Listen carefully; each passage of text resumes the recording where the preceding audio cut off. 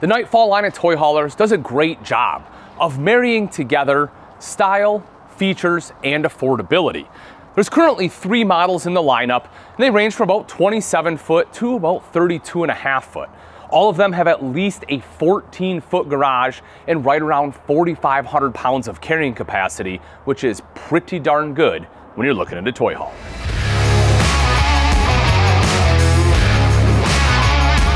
The shortest in the Nightfall lineup, the 21N, still has a 14 foot garage. And from your countertop to the wall, you have 77 inches. So you have plenty of space in here for pretty much any toy you want to bring from a golf cart to uh, an ATV, quad, motorcycles, or if you just want a big open space, this one fits the bill. In the back is going to be your seating. Both of these are extremely comfortable, but also rollover sofas. Out the back is our patio. This patio can support 1,500 pounds, perfect for parties. And if we drop it down into a ramp, it not only makes it easier for access of toys, but can also support 3,000 pounds. You will also see this screen that is magnetic, so it is completely removable. And then right up top is the Tokyo style drop down bed. Now, this bed is super simple to set up, can support up to 600 pounds, it also has your European style bed slats for some added support. Plus, you'll see the rod that goes across the back that personally I think would work pretty well if you need to hang up any additional clothes.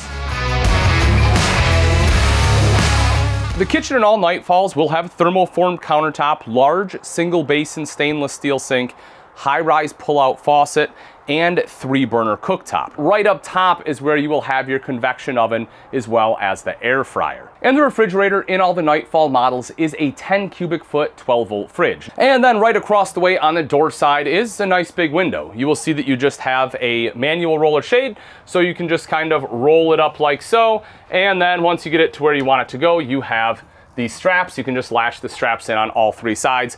Again, very quick and easy to use, and you don't have to worry about any tensioners or anything breaking. You will also see that this one has solar. It is prepped for that. It is expandable if you want to add more.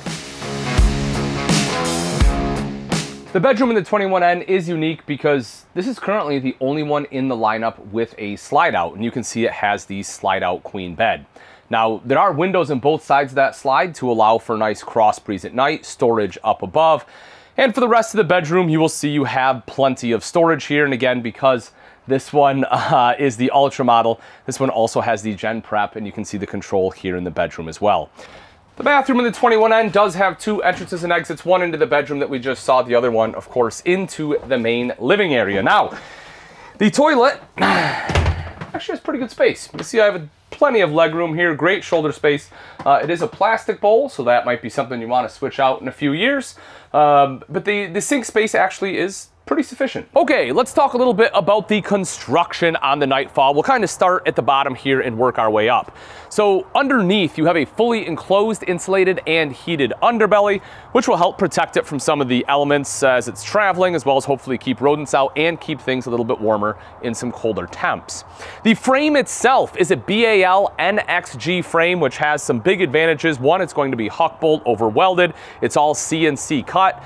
And the fact that it is a high strength, low alloy steel means that for the same strength ratio as a higher carbon steel, it's about 20 to 30% lighter, plus it has better chemical resistance, which means less chance for rust. As previously mentioned, because this one has the Ultra package on it, it does come with Gen Prep, so if you want that generator, it's much easier to have it installed. And then right here, you will see the MORryde step above step system. Extremely solid, the aluminum treads on there, so those aren't going to rust. And that leads you right up to the tempered glass door. Not only is this a great looking door, but it also has a friction hinge, so you don't have to worry about any kind of clips. And then you have the larger grab handle just to make it a little bit easier to climb in and out of the RV. Now, there is some additional storage right up front, even though it doesn't have a pass through because the Gen Prep, but on the other side of this coach, there is a pretty good storage space there, as well as your wet bay for all the hookups.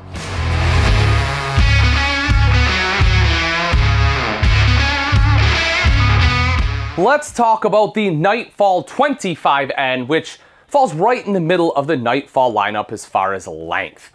This is honestly the great layout, kind of similar to the 27N in the back, but you get a full walk-through or pass-through bathroom leading up to that nice big bedroom. In the back here, we're going to have the gaucho sofas. Again, very similarly to what they have in the 27.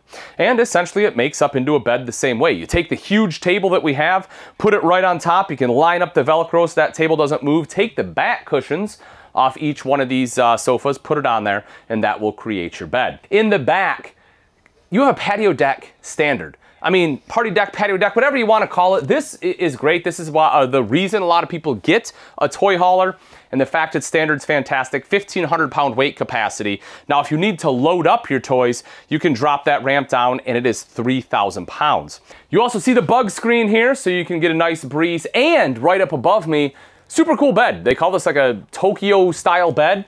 Um, it's very, very easy to, to use, to pull down. Now, I wouldn't do it from underneath it like I am, just gonna do this for demonstration, but you can see you can pull it down quite easily. It's strut assisted, goes right back up, and you have kind of like the European style slats here. So who's ever sleeping on here actually has some support, which is something, again, we don't see very often in a drop down bed. Uh, I do like this setup, and I love that there's a huge window on the camp side. This does open as well if you need that uh, cross ventilation and you can see the window treatments are simple but effective. It's just gonna be a manual roll here. Let's go take a look at the bathroom. This one has a walk-through bathroom, and I know it's it's very divisive, right? Divisive, divisive, divisive, divides people. Yes, um, people either love it or they hate it, and I get it because if you're in here the bedroom, as we'll see, doesn't have a door. So if you have guests in here, you're trapped in the bedroom until they're done, which is not the best setup or feeling. But what you get out of it is a lot more space in a smaller floor plan and take a look at how much space I have in the bathroom. I mean, I can actually get changed in here, which you can't say for many RV bathrooms. So I'm definitely a big fan of that. Also, every Nightfall has a tankless water heater.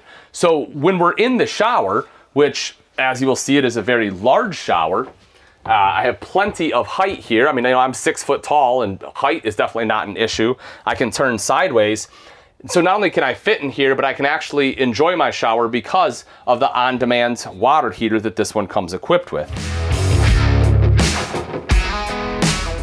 And the bedroom in the 25N is almost identical to the one in the 27N, and for good reason. It's a great layout.